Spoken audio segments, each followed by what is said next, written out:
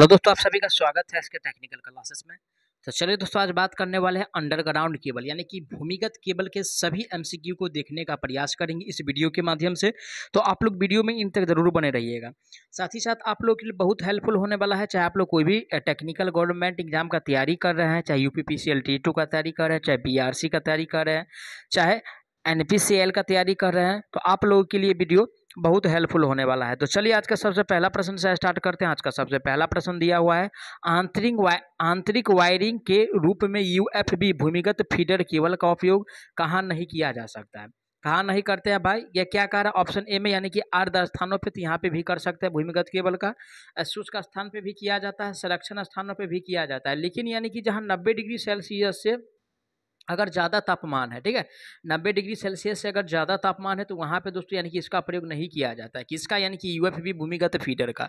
तो right answer नहीं वाला पूछ रहा है ऑप्शन बी में दिया है, नब्बे डिग्री से अधिक ताप पर इसका प्रयोग नहीं करेंगे राइट आंसर इसका भी सही होने वाला है, ठीक है?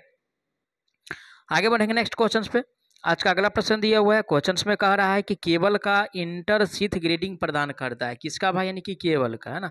और केबल का यानी कि इंटरसीथ ग्रेडिंग क्या प्रदान करता है? ऑप्शन ए में कह रहा है शून्य विहो प्रवणता। तो शून्य विहो प्रवणता प्रदान नहीं करता है, ठीक है यांत्रिक्षित विहो प्रवणता, ये भी नहीं प्रदान करता, एक समान विहो प्रवणता प्रदान करता है, ठीक है ना? यानी कि इंटरसिथ ग्रेडिंग जो प्रदान करता है, एक समान, ठीक है ना? यानी कि समान विभव प्रवणता, ठीक है? समान विभव प्रवणता प्रदान करता है, जो कि ऑप्शन सी में दिया है, राइट आंसर की बात किया जाए तो ऑप्शन इसका सी सही होने वाला है, ठीक है? क्या सही हो जाएगा? सी सही हो जाएगा। आगे बढ़ते हैं नेक्स्ट क्वेश्चन पे। आज का अगला प्रश्न पे बात करते हैं। आज का अगला प्रश्न दिया है। क्वेश्चन में कह रहा है, उच्च वोल्टेज केबल में इंसुलेशन के लिए आमतौर पर प्रयोग की जाने वाली सामग्री है। किसमें कह रहा है, बहुत दोस्तों, यानी कि हाई वोल्टेज में कह रहा है, ठीक है? और यानी कि उच्च वोल्टेज केबल में इंसुलेशन के रूप में किसका प्रयोग करते हैं? तो हाई वोल्टेज केबल में इंसुलेशन के रूप में दोस्तों पेपर का प्रयोग किया जाता है। किसका? पेपर का प्रयोग किया जाता है। ऑप्शन बी, डी में कह रहा है यानी कि लोहा। तो लोहा क्या है दोस्तों? यानी कि चालक पदार्थ। तो चालक पदार्थ जो इंसुलेशन के रूप में प्रयोग नहीं करते तो ये सरासर गलत दिया हुआ है, ठीक है ना? इसका जो प्रयोग करेंगे, पेपर जो ऑप्शन बी में दिया है करेक्ट आंसर की बात किया जाए तो ऑप्शन इसका बी सही होने वाला है। अगला प्रश्न पे चलेंगे। आज का अगला प्रश्न दिया हुआ है। क्वेश्चन में कह रहा है, भूमिगत केबल के विभव दबाव अधिकतम होता है। यानी कि विभव का जो दबाव होता है, कितना होता है भाई? तो देखिए, भूमिगत केबल की अगर बात किया जाए, वही भूमिगत दबाव जो होता है, चालक के कोर पे होता है। किस पे होता है? चालक के यानी कि कोर पे होता है, ठीक है? चालक का जो कोर होता है, उस पर भूमिगत दबाव होता है। क्या होता है? भूमिगत यानी कि दबाव होता है। ऑप्शन पढ़ेंगे, ऑप्शन ए में कह रहा है, यानी कि चालक के कोर पे। तो राइट आंसर इसका ए सही हो जाएगा, क्योंकि ए में जो दिया हुआ है, चालक के कोर दिया हुआ है, ठीक है?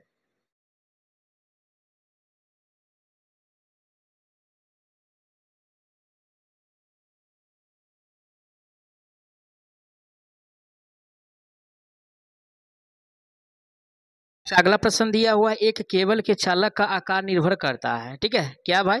यानी कि चालक का आकार कह रहा? है वो भी यानी कि अगर चालक के आकार की अगर बात किया जाए, ठीक है? तो ये किस पे डिपेंड करता है? तो चालक का आकार दोस्तों यानी कि ये जो डिपेंड करता है, ठीक है, वो धारा पर डिपेंड करता है। किस पे? यानी कि करंट पे डिपेंड करता है।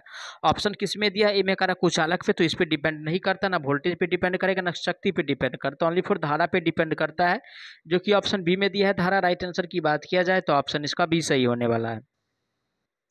अगला प्रश्न पे चलेंगे। आज का अगला प्रश्न दिया है क्वेश्चन में कह रहा है केबलों के चालक पर रोधन स्तर की मोटाई डैश पर आश्रित रहती है, ठीक है? यानी कि केबल जो होता है, उस पर यानी कि मोटाई जो होता है, यानी कि इंसुलेशन पदार्थ जो लगाया जाता है, यानी कि कंडक्टर के ऊपर वो किस पे आश्रित रहता है, उसके बारे में बताना है, ठीक है? तो दोस्तों, यानी कि ये जो आश्रित होता है वोल्टेज पे आश्रित होता है। किस पे होता है आश्रित? वोल्टेज पे आश्रित होता है। ऑप्शन पढ़ेंगे। ऑप्शन ए में जो दिया हुआ है कह रहा प्रतिक्रियात्मक शक्ति। तो पावर पे जो है डिपेंड नहीं होता ना, शक्ति गुणांक पे। ठीक है? ओनली फॉर यानी कि वोल्टा पे ये मोटाई निर्भर करता है। जो कि ऑप्शन सी में दिया है वोल्टा राइट आंसर की बात किया जाए तो ऑप्शन इसका सी सही होने वाला है। क्या सही होने वाला है भाई? सी सही होने वाला है। ठीक है? आगे बढ़ते हैं नेक्स्ट क्वेश्चन पे।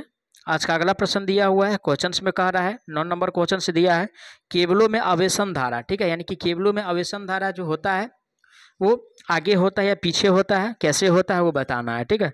तो केबलों में आवेशन धारा जो होता है वोल्टेज से 90 डिग्री आगे रहता है, ठीक है? यानी कि वोल्टेज जो होता है उसे 90 डिग्री आगे होता है। क्या होता है भाई? वोल्टेज से यानी कि नब्बे डिग्री आगे होता है। ऑप्शन किसमें दिया है? वोल्टेज से नब्बे डिग्री आगे।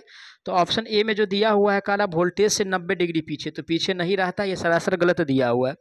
बी में करा वोल्टेज से नब्बे डिग्री आगे, जो कि राइट आंसर बी सही हो जाए क्योंकि ये जो रहता है दोस्तों, यानी कि वोल्टेज से नब्बे डिग्री आगे रहता है, ठीक है? आगे बढ़ते नेक्स्ट क्वेश्चन पे। आज का अगला प्रश्न दिया है, केवल सामान्यतः डैश प्राप्त करने के लिए वर्गीकृत होता है। यानी कि केवल क्या प्राप्त करने के लिए वर्गीकृत होते हैं भाई? तो केवल दोस्तों यानी कि ये जो वर्गीकृत होता है, पराविद्युत प्रतिबल का एक समान वेतन प्राप्त करने के लिए, किसका?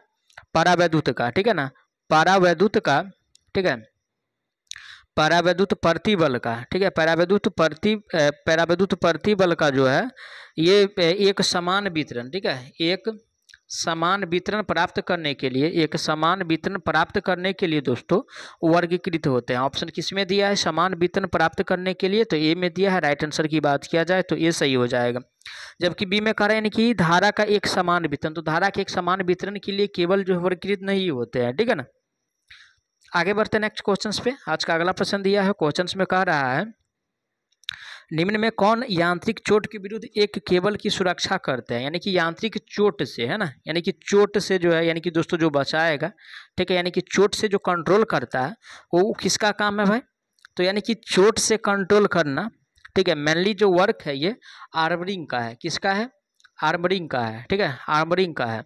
ऑप्शन किसमें दिया है आर्मरिंग तो ऑप्शन ए में जो दिया है बेडिंग दिया हुआ जो कि सारा सर गलत दिया है। न सीट का ये काम है, ना सर्विंग का ये काम है, ठीक है?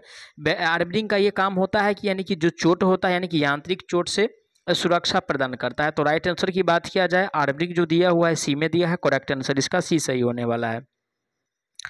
आगे बढ़ते हैं नेक्स्ट क्वेश्चन पे। आज का अगला प्रश्न दिया है क्वेश्चन में कह रहा है, यदि केबल को वाई एफ़ वाई के रूप में डिज़ाइन किया गया है, यह इंगित करता है। यानी कि क्या इंगित करता है? वाई एफ़ वाई क्या इंगित करता है भाई? तो यानी कि ये जो इंगित करता है, ठीक है?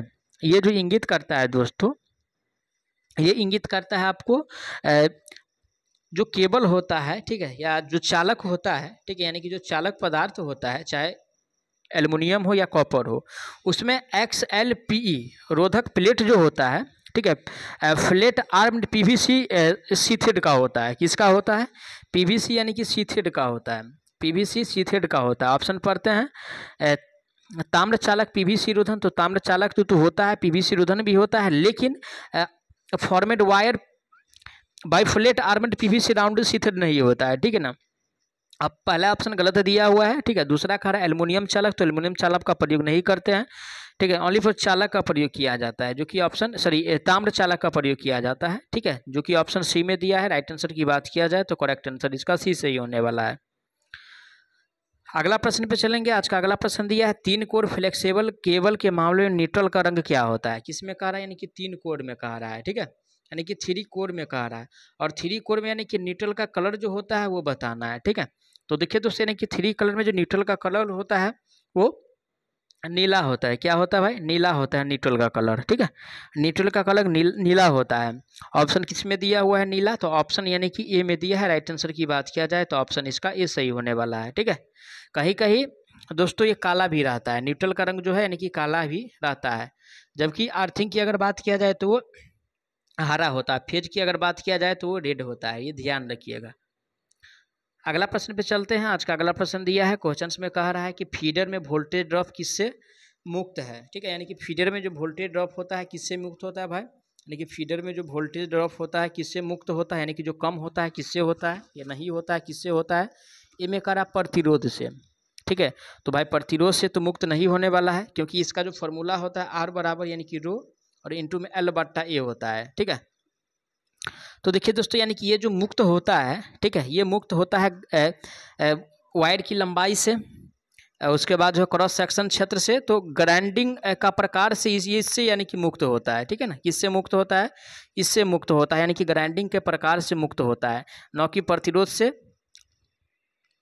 और न कि क्रॉस सेक्शन क्षेत्र से, तीस, क्योंकि ए क्या है तो क्रॉस सेक्शन क्षेत्र हो जाएगा, ठीक है? एल क्या है तो लंबाई हो जाएगा आर क्या है तो प्रतिरोध हो जाएगा।